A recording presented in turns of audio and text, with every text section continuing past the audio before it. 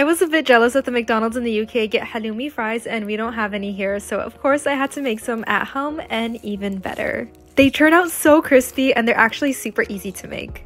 In one bowl, you're to make the wet batter, so whisk together some eggs, salt, and black pepper. In another bowl, you're to make the flour coating, so add all-purpose flour, garlic powder, paprika, and dried parsley, as well as salt and pepper. Then for that crispy layer, we're to combine panko breadcrumbs, paprika, garlic powder, salt, and pepper.